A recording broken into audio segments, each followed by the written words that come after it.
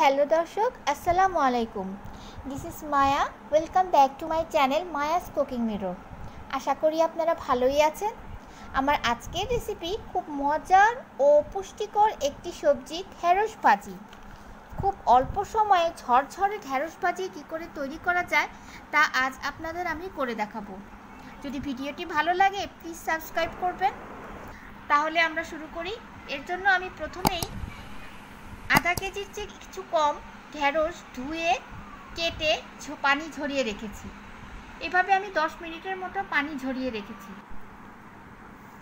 এখন চুলে তেল গরম করে আমি পেঁয়াজ কুচি দিয়ে দিচ্ছি। ঢেঁড়স ভাজিতে আমি পেঁয়াজ একটু বেশি ব্যবহার করি, তারপর দিয়ে দিলাম দুটি তেজপাতা।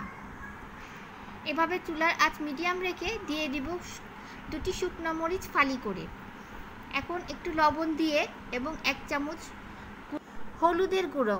তারপরে আমি ঢ্যাঁড়সগুলো ঢেলে দিচ্ছি। ঢ্যাঁড়সগুলো এভাবে আস্তে আস্তে ঢালার পরে আমি উল্টে পাল্টে কিছুক্ষণ রান্না করব। চুলার আঁচ এই সময় মিডিয়াম থাকবে। দেখতে পাচ্ছেন বিয়স আমি এখানে ঢ্যাঁড়সগুলো একটু মোটা করে কেটেছি। কারণ মোটা করে কাটাতে ঢ্যাঁড়সের আঠালো ভাবটা কিছুটা কম হয় আর খেতেও ভালো লাগে। এভাবে কিছুক্ষণ রান্না করার পর আমি এখন অ্যাড করব একটি বিশেষ উপকরণ, সেটা সেটার জন্য এই ঢেঁড়সের কালারটা গ্রিনিশ ভাবটা একই রকম থাকবে। রান্নার পর কালো হয়ে যাবে না।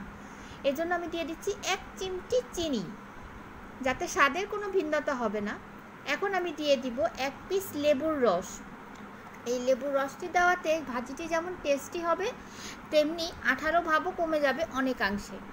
ঝরঝরে এই ঢেঁড়স ভাজি গরম ভাত বা ডালের সাথে খেয়ে দেখবেন কোনো অংশেই কম লাগবে না। এভাবে তৈরি নিমেষেই আর ঝটপট সহজেই তৈরি হয়ে গেল আমার ঢেঁড়স ভাজি খুব বেশি সময়ের প্রয়োজন নেই এই ঢেঁড়স ভাজি করতে। আশা করি আপনাদের কাছে ভালো লেগেছে এই রেসিপিটি। আর আপনাদের কাছে ভালো লাগলেই আমার সার্থকতা। পরবর্তীতে আরও নতুন কোনো রেসিপি নিয়ে হাজির হয়ে যাব আপনাদের কাছে। সেই পর্যন্ত আমার চ্যানেলটি প্লিজ সাবস্ক্রাইব করে পাশে থাকবেন। ভালো থাকবেন।